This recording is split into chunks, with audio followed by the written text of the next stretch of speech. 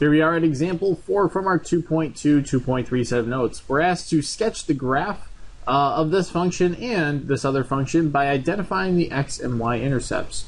So right now we see that we have the x's and y's on one side and is equal to some number on the other, likewise with this function as well. And as a result, this is actually in what we call standard form. And when we have that standard form like that, we can actually go ahead and create a box. And inside that box, we're going to go ahead and create just a little uh, cross. Now above this box, we have an X and a Y. And every single time when we're graphing this in standard form, we're always going to go ahead and throw in 0, 0 on this diagonal. Now the idea with how this works with standard form is we're taking this value 0, throwing it into x for this function.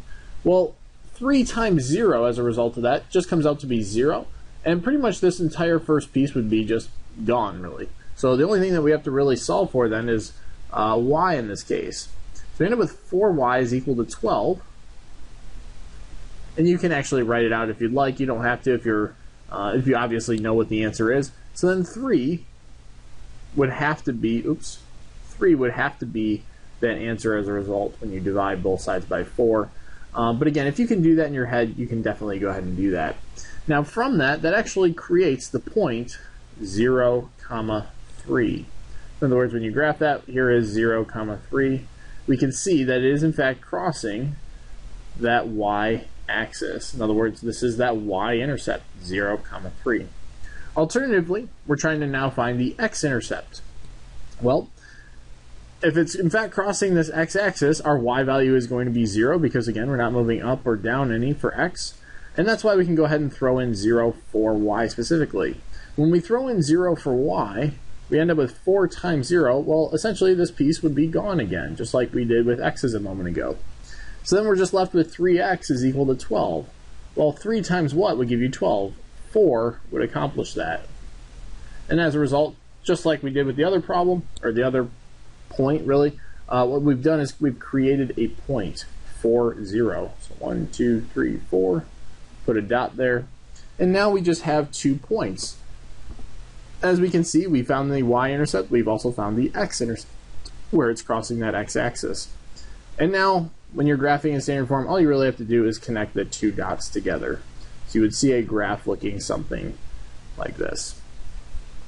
Going ahead now and moving on to this 2x minus 3y is equal to 9.